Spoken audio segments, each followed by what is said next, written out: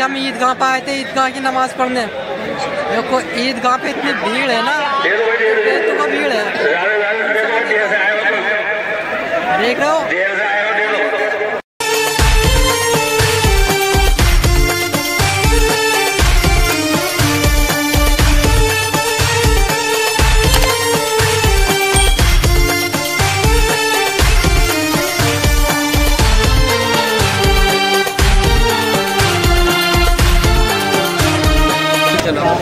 सब